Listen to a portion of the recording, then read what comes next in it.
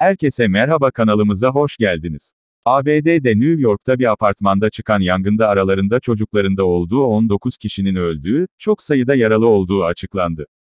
Ölü sayısının artmasından endişe edildiği belirtildi. ABD'de New York'ta şehir merkezine bağlı Bronx kentindeki binada çıkan yangında mahsur kalan 63 apartman sakininin yaralandığı, 32'sinin durumunun ağır olduğu belirtilmişti.